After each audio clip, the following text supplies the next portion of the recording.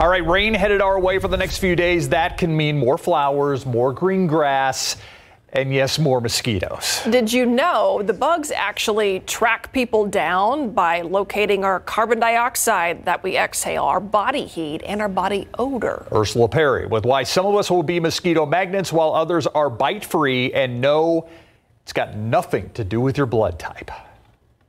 Mosquitoes, one of the few insects to evolve a taste for human blood. An incredibly protein rich meal, turns out. When they bite, it's uncomfortable because it, there's an irritation associated with the biting of the mosquito. It's actually injecting saliva into your body. Each year, mosquitoes infect about 400 million humans with the dengue virus, but that's not all. While they're tasting your blood, they can also potentially transmit viruses like yellow fever, Zika virus, and chikungunya. Certain people are more attractive to mosquitoes than others. It's because they have higher levels of something called carboxylic acid on their skin. That's the acid that is produced through sebum, the oily layer that coats your skin.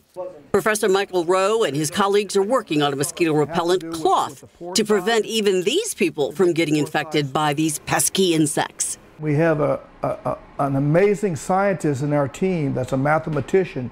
He can ma mathematically define all those parameters, combining them to describe what a cloth would have to be like to prevent mosquitoes from biting. So why am I a mosquito magnet while my sweet husband never gets bitten?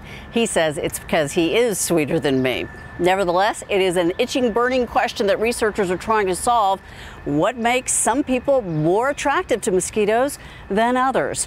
They're hoping to develop a topical cream that will one day make us unattractive to these bugs. Meantime, yes, keep on using that spray. Ursula Pari, KSAT 12 News. Keep up to date with all of San Antonio's top news, weather, and so much more by clicking the like and subscribe buttons below. And once again, thanks for watching KSAT.